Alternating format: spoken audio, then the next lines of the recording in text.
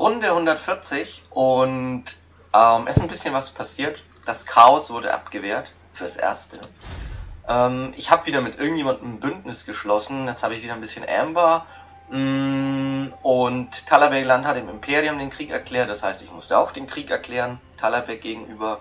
Naja, und meine Truppen, meine beiden Waldelfenarmeen, habe ich jetzt mal hier positioniert, um hier Eilhard, die sehr weit westlich gelegene Festung ähm, der Vampirfürsten, anzugreifen und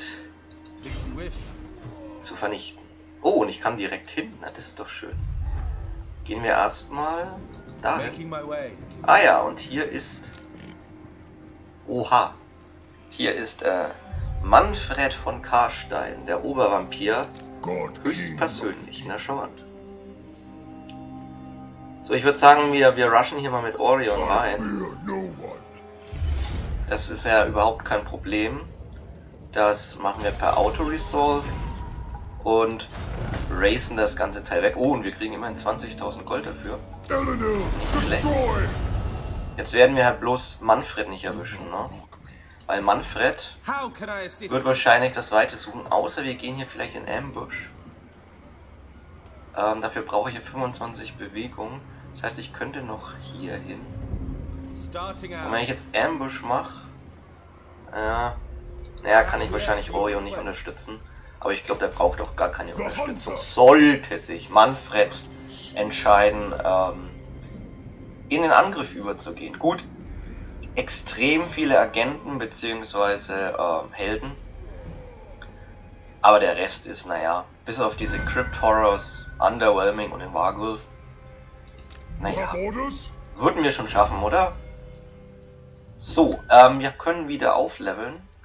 Ich könnte ja mal hier ein bisschen was investieren. Ja, hier. Für alle Truppen ähm, plus 6 ähm, Nahkampf. Angriff und Verteidigung. Das ist doch schön. Ein bisschen mal meine Nahkämpfer buffen. Und hier, der hat ja eh schon fast alles. Ja, wegen mir ein bisschen Speed. Wir könnten auch mal überlegen, ob wir hier was machen. Aber naja, naja, macht mich jetzt nicht so an, muss ich sagen. Ah, forschen können wir was. Wir haben jetzt halt drei Amber wieder zur Verfügung. Das ist natürlich nur eine Momentaufnahme, also das kann sich ja jederzeit ändern, ne? Ich weiß gar nicht, mit wem sind wir denn jetzt alles verbündet? Treaties. Mm. Ah ja, das sind die Nicht-Angriffspakte. Endlich hat es mit den Zwergen geklappt, ich bin ja so froh. Und jetzt müssen wir mal schauen, dass wir... Ja, also das steigt noch. Sobald das quasi nicht mehr steigt, ähm, hauen wir wieder ein Geschenk raus. Das klappt dann schon. Und Hochland, wie schaut's da aus? Wird auch besser. Also mit denen wäre ein Bündnis auch ganz gut. Das ist ja quasi das neue Imperium. Und wir sind jetzt quasi mit zwei Bretonen, nein, drei Bretonen und Clan Angrund verbündet. Halt noch mit dem Imperium und mit den Waldelfen, wobei ich die ja kurzfristig oder mittelfristig dann doch ähm, konföderieren möchte. Und jetzt, jetzt mache ich mal was ganz was anderes. Ja, ich könnte das mal machen, ne? dann spare ich mir Geld. Erstens kriege ich dann mehr Einkommen aus allen Gebäuden, nämlich plus 20%. Ich spare 40% ähm, Konstruktionskosten auf alle Gebäude. Und das Wichtigste, ich bekomme plus 40 auf die Beziehung mit den Zwergen. Kostet mich allerdings 2 Amber. Die wissen schon warum, ne? Aber ganz ehrlich, das ist es allemal wert. Das ist allemal wert, weil ich glaube, dann äh, kann ich einen Pakt mit den Zwergen schließen. Und ähm, ja, dann habe ich plötzlich hier über 20 Ember. So, was möchte Belegar? Ja, wie immer halt, ähm, möchten sie mich zu Krieg ähm, Beitritt überzeugen. Ja, Manfred ähm, sucht das Weite. Und hier sind auch noch Chaos-Truppen. Hm. So. Ach ja, das hatte ich vergessen. Hier unten sind auch noch ähm, Tiermenschen gespawnt. Und die haben jetzt halt hier meinem Verbündeten den Krieg erklärt. Ja, was, was bleibt uns übrig, ne? So. Okay. okay. Aha, ein neuer Quest. Mhm, drei Wild Riders. Okay. Ich habe ja das noch nicht mal mit den Assisters of, of the Thorn gemacht. Ja, das sollte ich dann halt mal irgendwann in Angriff nehmen, aber habe irgendwie gerade wenig Lust dazu. So, die Forschung ist auch schon fertig und jetzt schauen wir doch mal, beziehungsweise erst in der nächsten Runde. Ähm, naja, wir können eigentlich gleich gucken, ob das jetzt schon einen Effekt hat, tatsächlich. Ja, krass. Richtig krass. Die Technologie hat mich sofort hier mit den Zwergen, ähm, ja, ja, sehr gut, wunderbar. Ja, das steigt jetzt halt noch weiter bis 89. Also ich glaube, äh, wir nähern uns der militärischen Allianz. Und dann, dann haben wir endlich alle Amber-Probleme gelöst. Finally, finally. Ja. Jetzt würde ich ja fast meinen, hier der Waldelf geht mal zurück zu Karak Azkaras. Und Orion... Ja, was macht denn Orion Schönes?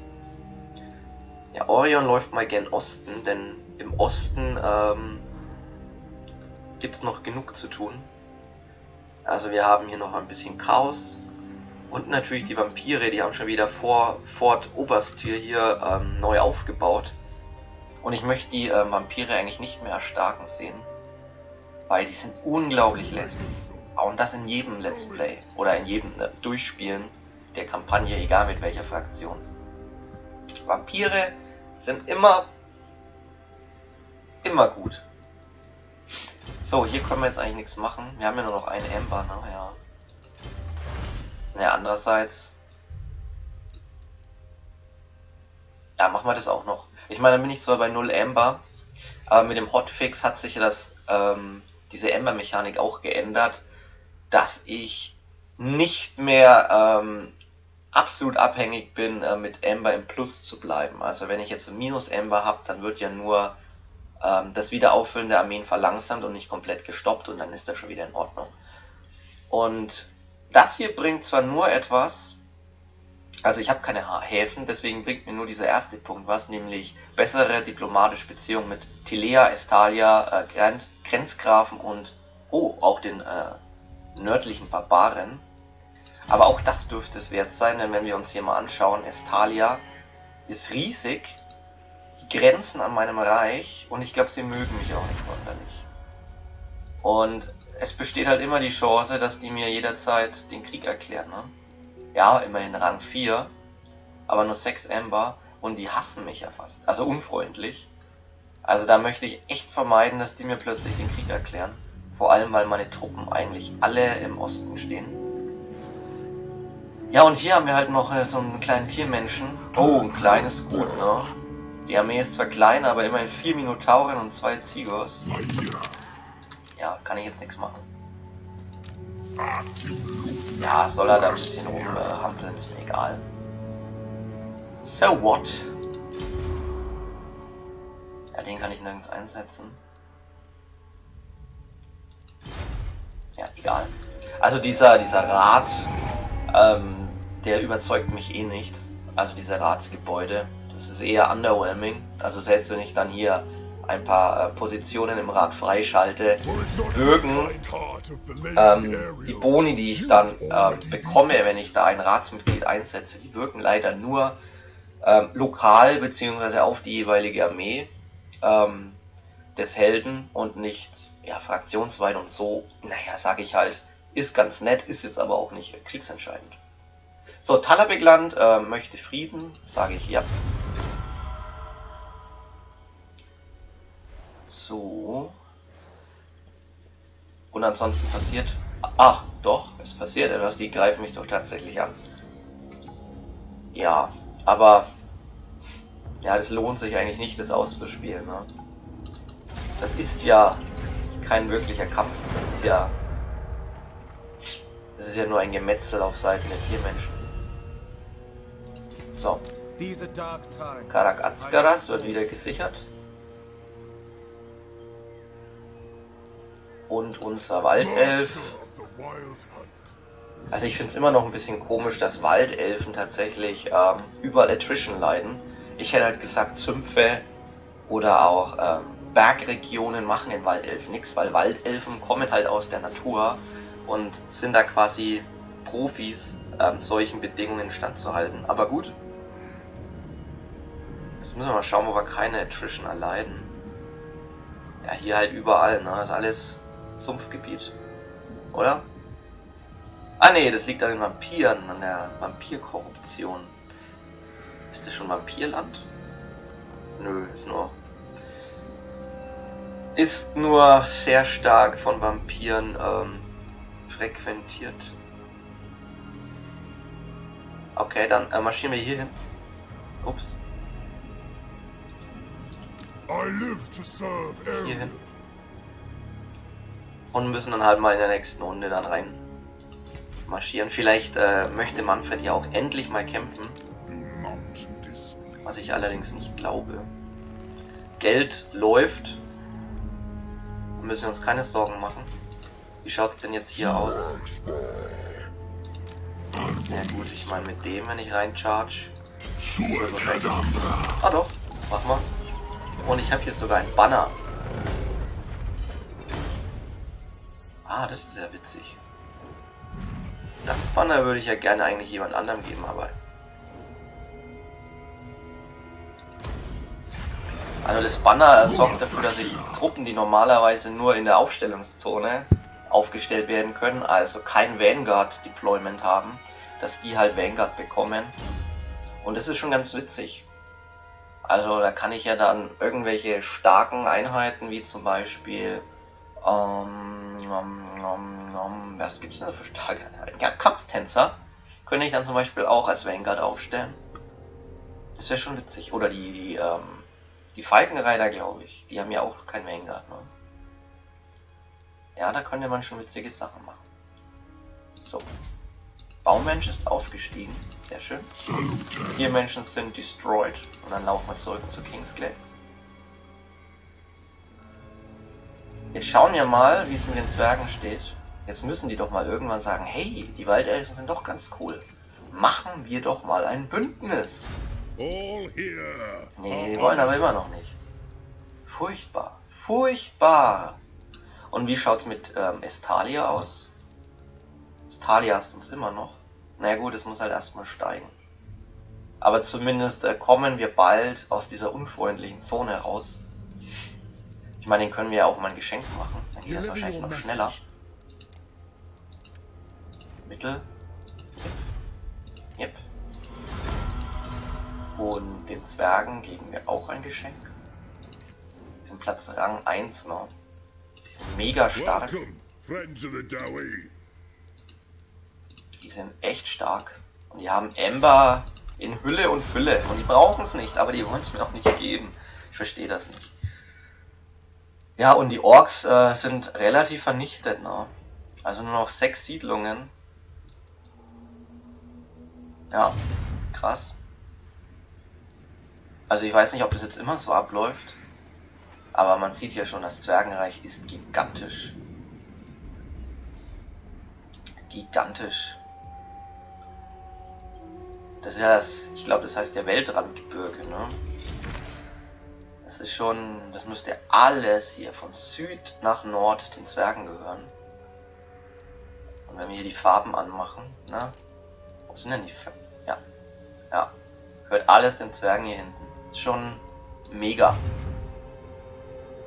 Mega und wir müssen da profitieren. Also, ganz ehrlich, ich kann eine, eine pure Baumenschenarmee ausheben, falls ich irgendwann mal ein Bündnis mit den Zwergen.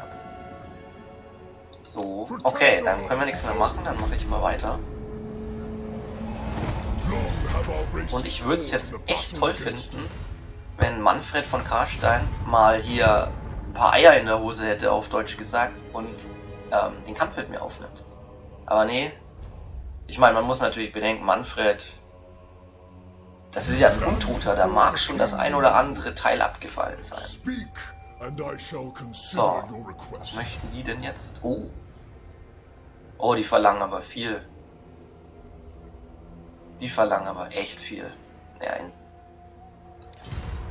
unter den Umständen muss ich leider verneinen. Lioness. Okay, die wollen nicht ganz so viel. Die wollen nicht ganz so viel.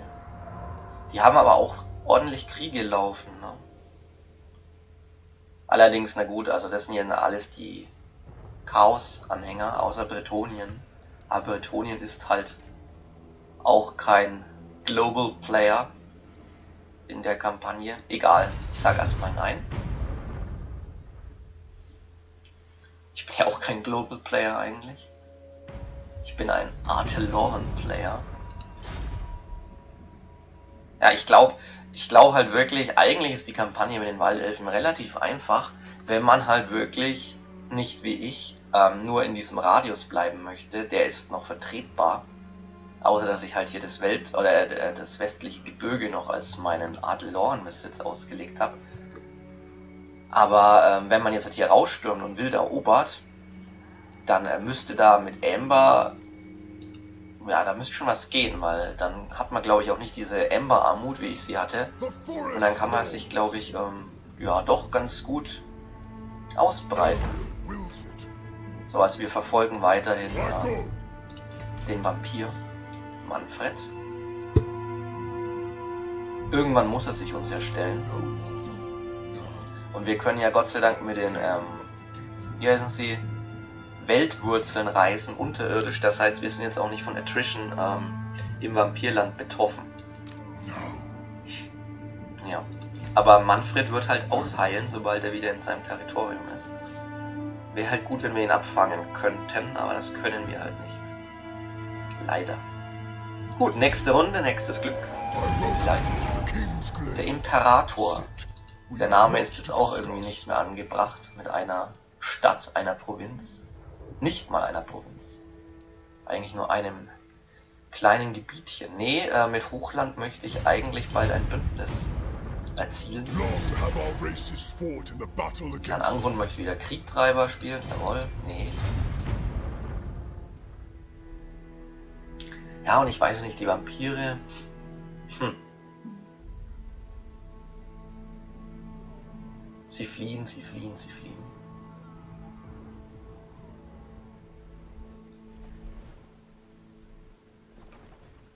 Mein Waldelfenverbündeter läuft halt auch irgendwie quer über die Karte. Ich weiß nicht, was er damit vorhat. Er war mal im Norden, hat gegen die nördlichen Barbaren gekämpft, dann war er mal im Süden. Aber so richtig bei rumkommt, glaube ich, nicht. Naja. Ja, da ich keine Eroberungsambitionen habe, ähm, kann ich mich quasi frei auf der Karte bewegen. Vielleicht macht der Waldelf das genauso, mein Verbündeter. Ich kann jetzt zum Beispiel mal hier diese, diese untoten Rebellen ähm, wegpflanzen, die Wurtbart bedrohen. Ähm, bringt mir jetzt keinen richtigen Vorteil. Aber ich sag mal so, ne? Vielleicht freut sich ja Wurtbart einfach drüber.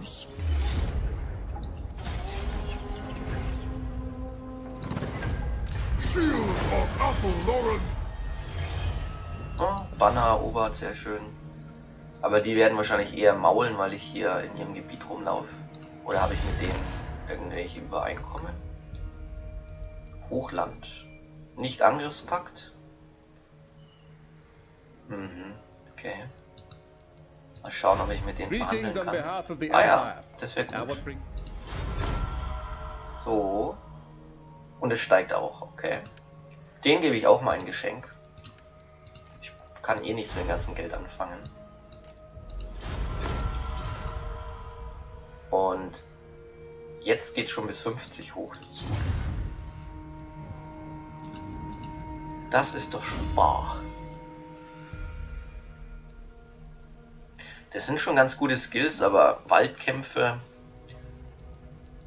Ich meine, ich bin ja jetzt halt hier nicht in der Heimat, sonst würde das wahrscheinlich Sinn machen. Ist Verteidigungsarmee, aber ich bin alles andere als in der Heimat und hier gibt es eher wenig Wälder. Und ich weiß auch nicht, was heißt denn Waldschlachten? Heißt das, ich stelle meine Truppen den Wald auf? Oder heißt das, die Karte muss irgendwie eine Prozentzahl an Bäumen haben? Also würde das bedeuten, dass alle meine Truppen, die im Wald aufgestellt sind, tatsächlich diesen, ähm, diesen Bonus bekommen? Ich weiß es nicht. Ich weiß es nicht. So. Was machen wir jetzt?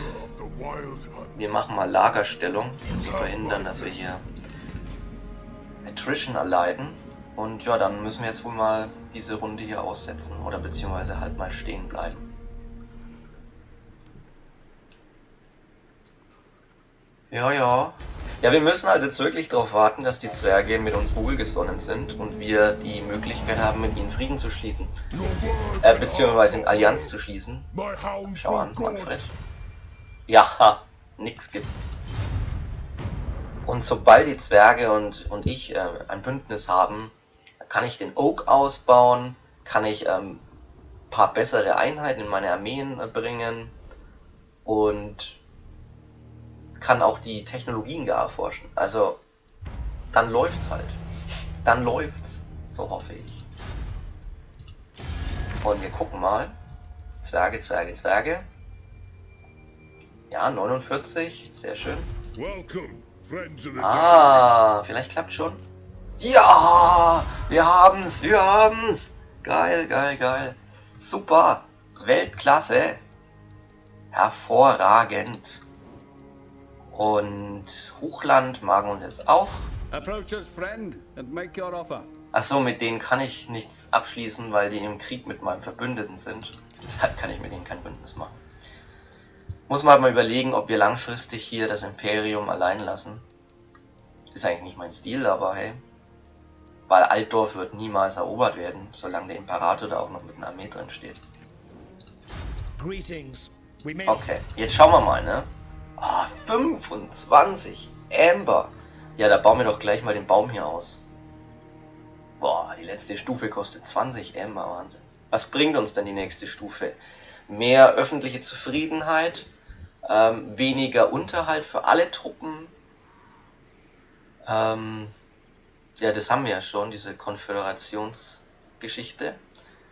Dann ähm, Korruptionsminderung, erhöhter ähm, Rang der Helden bei Rekrutierung und natürlich eine bessere ähm, Garnison. Zwei, ähm, zwei ähm, Baummenschen. Ja. ja, das machen wir mal. Ich meine, wir müssen ja mal vorankommen. Und dann ähm, schauen wir mal, was es noch an schönen Forschungen gibt.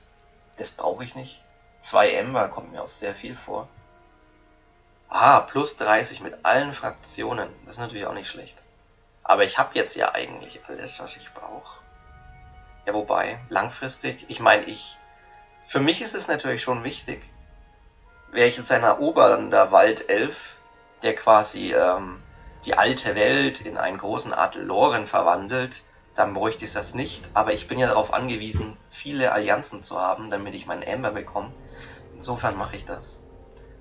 Und dann müssen wir mal schauen, was wir noch brauchen. Vielleicht mal das hier gegen Tiermenschen. Untote. Was will ich denn hier von Untoten? Ja, das ist auch nicht schlecht.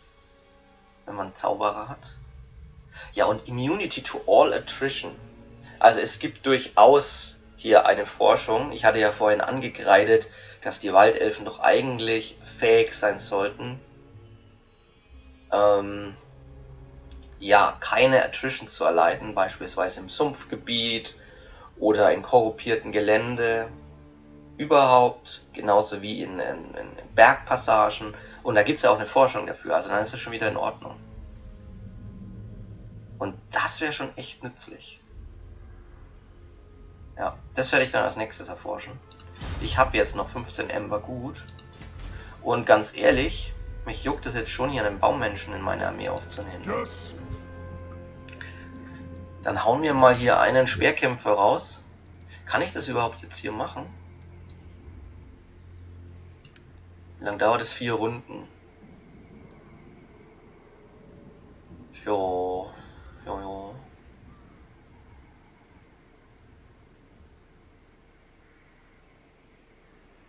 Ja, das mache ich. Also dann tut mir leid, du bist raus. Und dafür kommt hier ein Baumensch herein. Wunderbar. und hier haben wir doch auch noch eine ausgebaute Armee. Mehr oder weniger. Die hat sogar noch Platz, schau an. Und hier... Ja, hier können wir... Hier würde ich sogar sagen... Na gut, Falkenreiter. Ich mag Falkenreiter. Ich weiß gar nicht, was immer alle gegen die Falkenreiter haben. Die sind für mich sehr nützlich und auch ein Baumensch. So, da habe ich drei Ember ausgegeben, habe immer noch zwölf. Ha!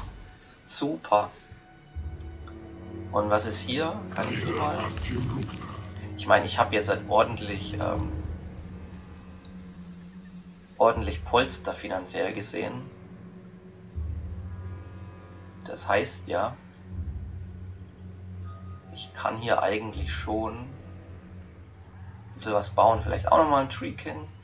Na, lieber mal Sisters of Dawn und die Reiter. Und dann wegen mir hier noch Bogenschützen und den Speerkämpfer. Und Durtu kriegt auch mal noch einen Speerkämpfer. Nein, muss ich von hier oben nehmen.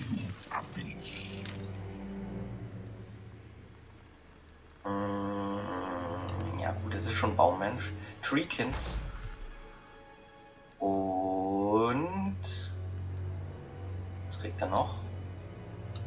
Auch Waldreiter mit diesen Giftpfeilen. So. Jetzt habe ich noch 11 Ember, also ich krieg das schon weg, ne? Ich krieg das schon weg. Gut. Es ist halt die Sache, ne? Ähm, wenn wir jetzt, ich brauche ja noch 20 Ember, um den Baum hier gar auszubauen. Beziehungsweise, jetzt können wir mal mit den Waldelfen gar konföderieren. Dann habe ich wahrscheinlich keine 11 Ember mehr. Aber dann wissen wir wenigstens, was ich am Ende noch brauche. Zack. Jetzt habe ich noch 6 Ember. Boah, hat er so eine riesen Armee oder was? Wer war das jetzt? Das war hier, ne? Ja, ja, das muss ich mir mal in Ruhe anschauen, ob ich hier ein paar Gebäude abreißen soll. Ich denke schon. Ich denke schon. Und jetzt muss ich mal gucken, wo meine Armeen alle rumstehen, ne? Also, der gehört ja mir, den hatte ich gerade schon. Dann ist hier rechts noch eine Armee. Das ist von ihm. Ja. Ja, dass die teuer sind, ist klar. Hast mir jetzt hier eine Amber Unit. Und das hier finde ich auch irgendwie blöd.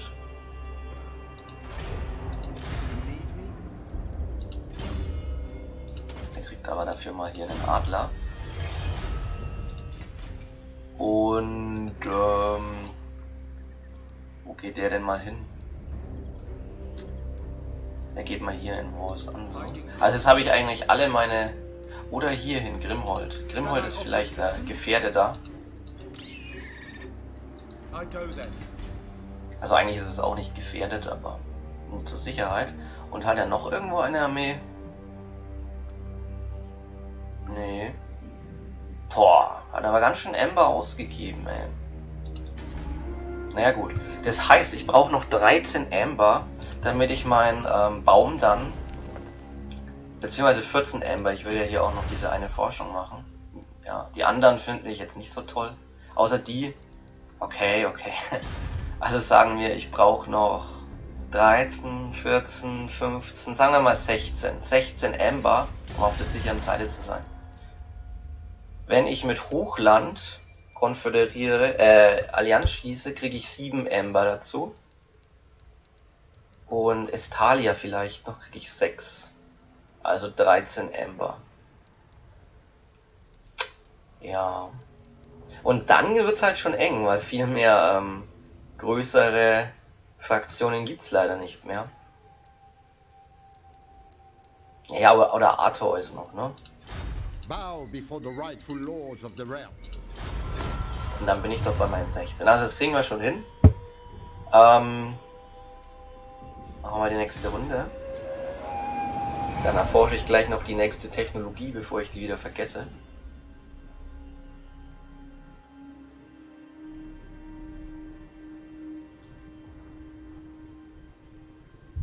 I am drawn to the nobility of your cause. So, wer ist das jetzt? Paragon? Ach! Nee, mit Estalia fange ich keinen Krieg an. Aber das ist schlecht, wenn Paragon mit in den Krieg ist, dann kann ich mit Estalia nämlich... Oh. Die Hochelfen besuchen uns. Ja, wegen mir. Kann man ja mal Hallo sagen. Wir wollen ja nicht hier als die Barbaren dastehen. So, also der geht hier rein. Die anderen bauen gerade ihre Truppen und hier erforsche ich noch.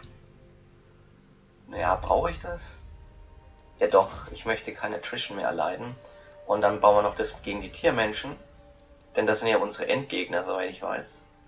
Die greifen dann am Ende nochmal mit allem, was sie haben, unseren Oak an. Da sind diese Boni gegen die Tiermenschen vielleicht ganz gut. Ja, und ähm, unser Orion, der hat hier noch sein Bäumchen gepflanzt. Das braucht noch ein bisschen, bis es gewachsen ist. Ja. Dann würde ich sagen, wir sehen uns im nächsten Let's Play wieder. Und jetzt haben wir doch mal anständige Armeen und sind doch mal äußerst gewachsen. Wir haben Artelloren vereint. Das gehört uns jetzt auch komplett. Also die Ziele sind erreicht. Das Einzige, was wir jetzt noch machen müssen, ist eben den Oakgar auszubauen. Und dafür müssen wir noch ein paar Allianzen schmieden. Ja, ich hatte schon, ich habe mich schon gefragt, wo mein Handy bleibt, aber in letzter Sekunde hat es dann doch noch Hallo gesagt.